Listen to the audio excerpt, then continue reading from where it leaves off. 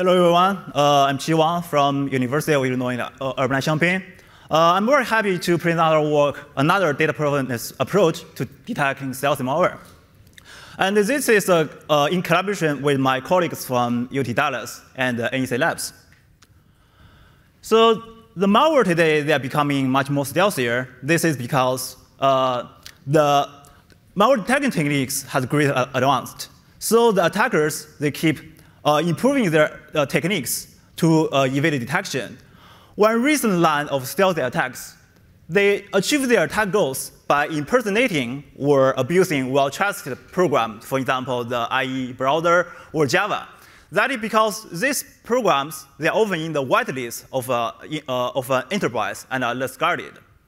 Besides simple techniques, for example, renaming uh, the name of a processes, there are some stealthy techniques uh, attacker can use to achieve such purpose.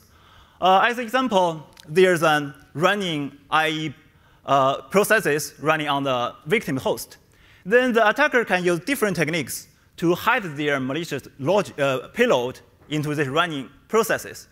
Then perform the at attack within the memory space of these running processes so that this malicious behavior will, will be blended with the benign behavior of IE, and this will make the detection difficult. So there are a lot of techniques an uh, attacker can use to achieve this impersonation purpose. For example, they could do memory code injection, where you could directly inject the code into a, another running processes. For example, using DLL injection or pro process hollowing. Another is script-based attack, where the payload can be embedded in the, in the documents like Microsoft Word or Excel. And when you uh, open this documents, then the payload will be executed. And also, there are a lot of vulnerabilities that can be exploited by attackers to uh, do their attack. For example, there's a, a vulnerability that allows arbitrary code execution in IE. Besides this, there are various stealthy strategies that can be employed in their malware design. Uh, for example, fileless techniques. That is, the attacker could uh, try to minimize the usage of the regular file system to uh, minimize their footprint uh, on the system. Another st strategy is living off the land. That is, in the attack, they're only using the, the tools already uh, on your system. For example, using the certutil, which is uh, not only used in the benign purpose, but they could also be leveraged by the attacker for their malicious purpose. Here I will give an example of a, a real-world stealthy attacks.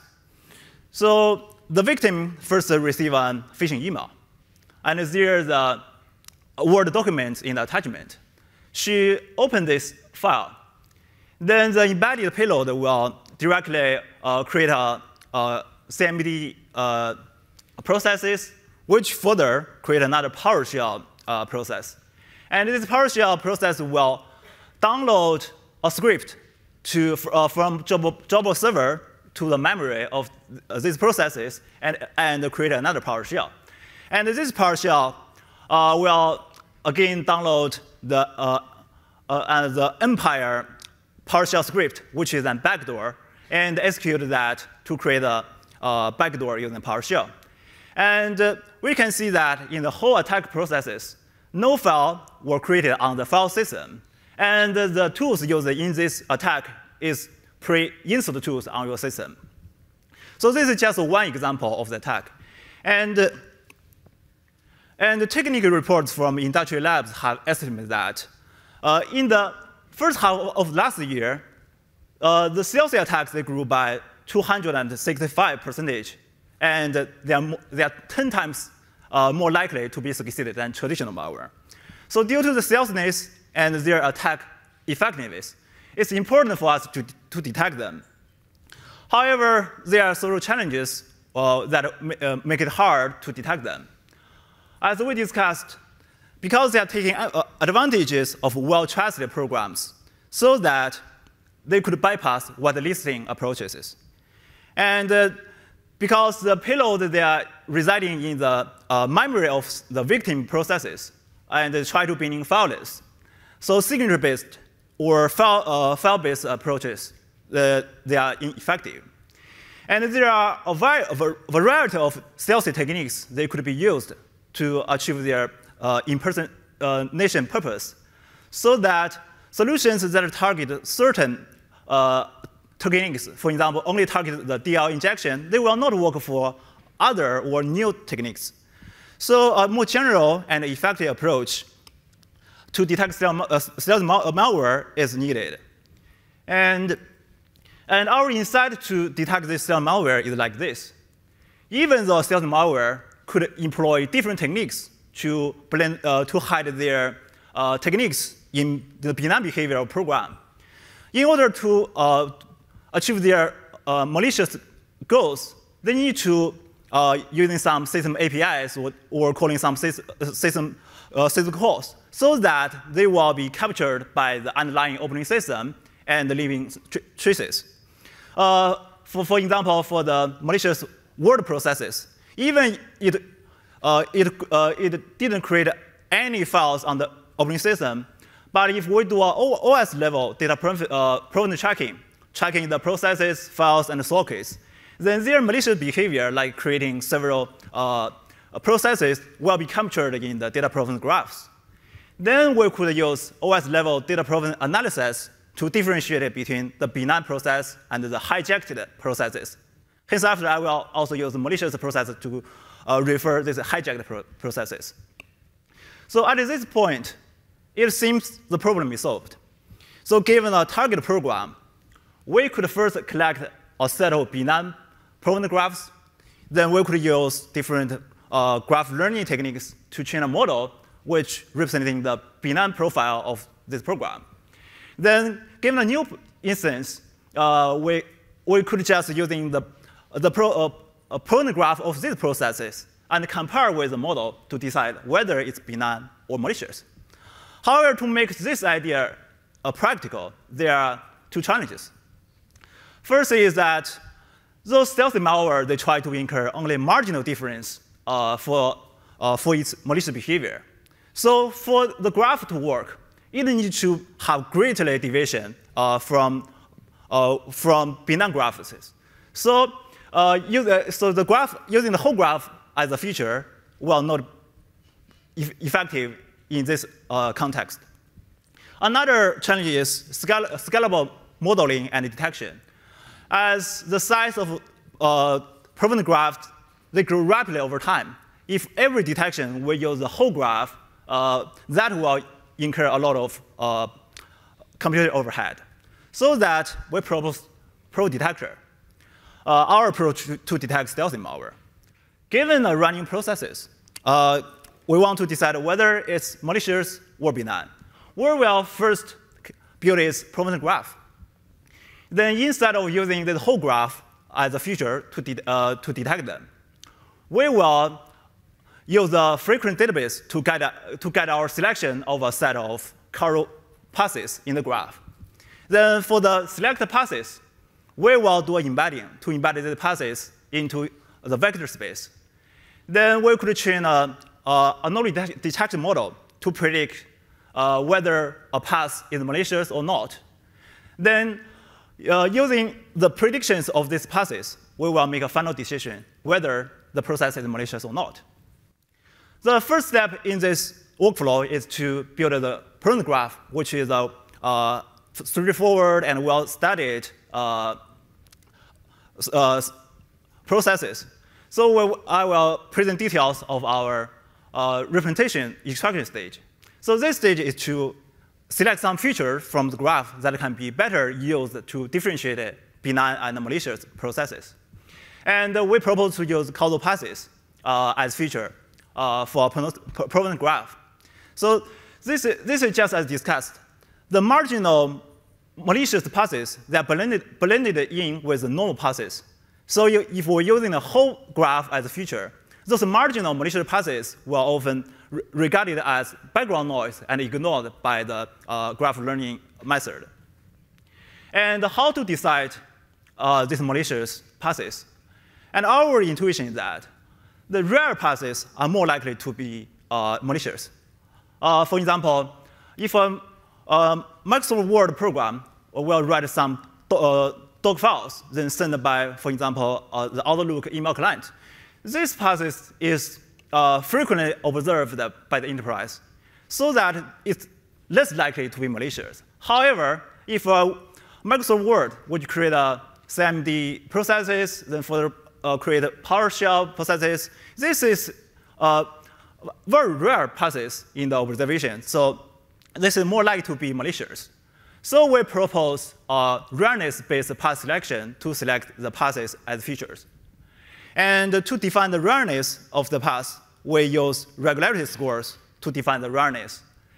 And for a path which is a sequence of causal uh, system events, we will define the regularity score of this path as the product of the regular, regularity score of each event. And the regularity score of each event is defined by the uh, stability score of this event as a, a outer node and in, in node, and, and multiplied by its event frequency. And this, and this score can be calculated from the frequency database we, uh, we monitored. And the, two, the high-level idea for this is that the less frequent system events or, and the less stable event, they are more likely uh, to be irregular so that they will have low regular scores. Then our problem for this is will be to finding the passes with lowest regular scores from a proven graph. With this score, uh, with this uh, passes select, our next stage is to do embedding. That is, how can we fit the passes into an anomaly detection model? Because the passes of this, uh, the length, lengths of this path are not fixed and the attributes of the nodes are often unstru unstructured data, for example, the file names of a, of a node. So borrow the, borrow the idea from other domains in machine learning. We propose to projecting them into the vector space. Uh, and we view a, path, a causal path as a sentence. We can treat each node as a noun, and each edge as a verb. Then the path will be become like a sentence. Uh, then we can use uh, graph embedding, uh, we can use uh, sentence embedding or document embedding uh, approach, for example, the doc2vec to embed the path into, a, uh, into the embed, uh, embedding space. For example, for this causal passes, the labels in the nodes and the age can be directly mapped to a sentence like this. And uh, this can be used in the embedding. And using this approach in the vector space, similar passes, they will be closer in the embedding space, and diff uh, different passes uh, will be far away so that they can be easily se separated in the embedding space. So the, the final stage is to do the anomaly detection. Uh, we use the novelty uh, detection model to determine uh, if a pass is malicious or not. We will train a model with only the benign passes uh, using the, the embedding of the benign passes so that it, it will be able to detect unknown or new attacks, attacks. And because we want to know whether the process is, is uh, malicious or not, we use the threshold-based method. That is, if there are more than h path vectors are predicted as malicious, we will uh, consider the graph malicious. So using this workflow, we do a, we make a, a prototype, and then do some evaluation to prepare the dataset, we run about 15,000 malware samples we collected from VirusShare and VirusSign. And for the benign dataset, we deployed our approach into an enterprise uh, for three months.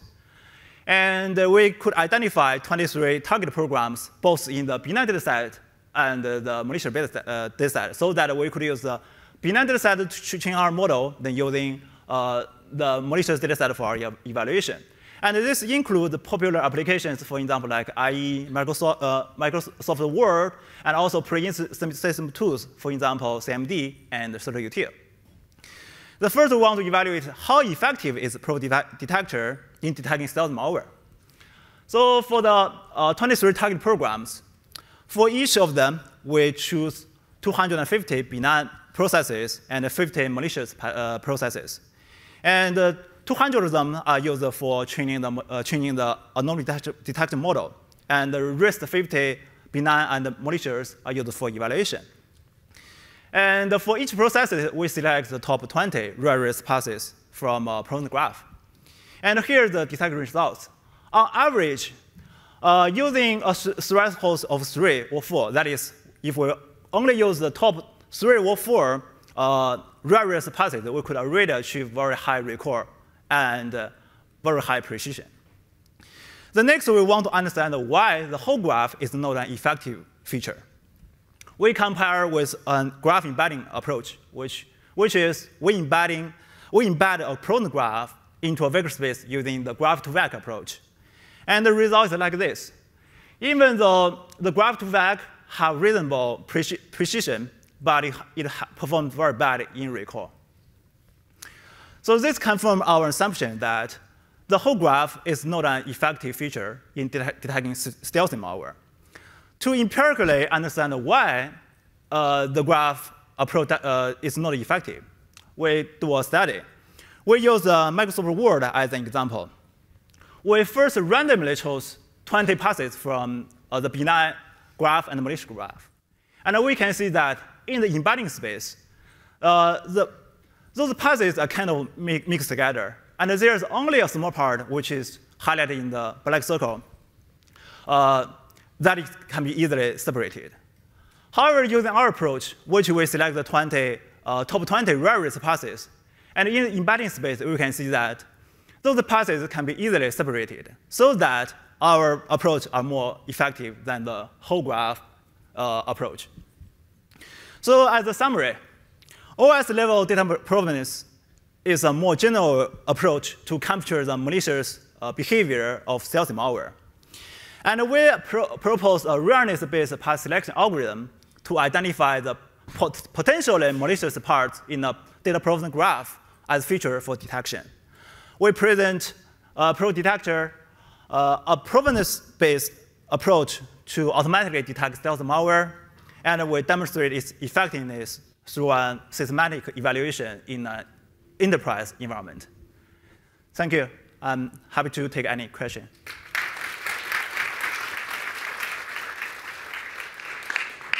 Uh, very nice talk. Uh, so I like it very much. Uh, so Yingzhi from Johns Hopkins. So I have a question regarding the rareness that you mentioned uh, in detecting the benign and the malicious uh, paths. Mm -hmm. So some benign passes might also be rare. For example, like uh, I want to install Google Chrome on a new computer I downloaded from IE, and then it's only happened once. Mm -hmm. So how would you like differentiate those like rare but also benign passes from those rare and malicious passes?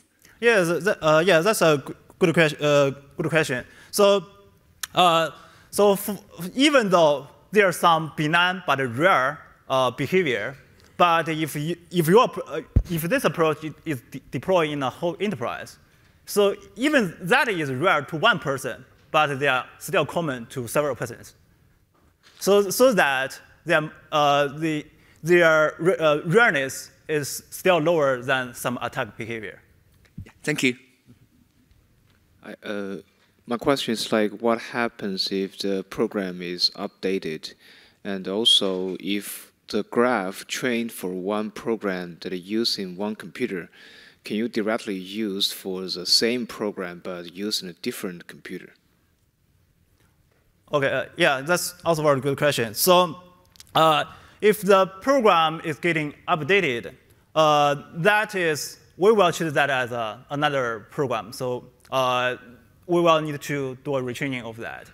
Uh, for your second question, uh, so uh, for each version of the program, uh, even though they are on different hosts, we will using the signature of this program to identify its uniqueness, so that the same version of the program on different versions, they, they, they will be considered as the same program, and we will train a model for that.